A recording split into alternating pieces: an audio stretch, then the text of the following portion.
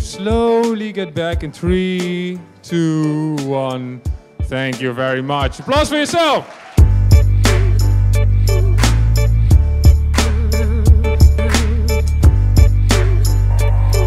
Climate-KIC is really fantastic because um, this way uh, the young entrepreneurs, so these very young uh, students, can uh, get engaged with the climate problems, climate challenges. Welcome everyone to the pitch competition of the journey. Are we looking forward to it? Yeah!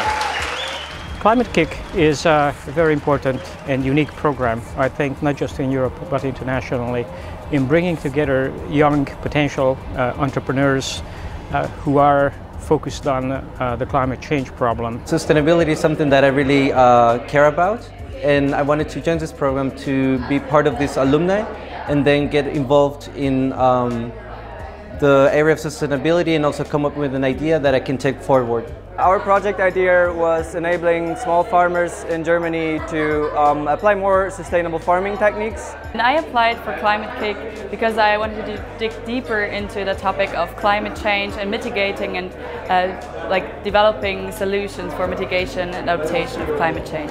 This is a problem that, uh, that is uh, one of the largest at the moment globally. We need new ideas, we need uh, new energies, and we need uh, a new generation of uh, young people. We'll start small at 500 square meters of installations and grow to 20,000 in our fifth year.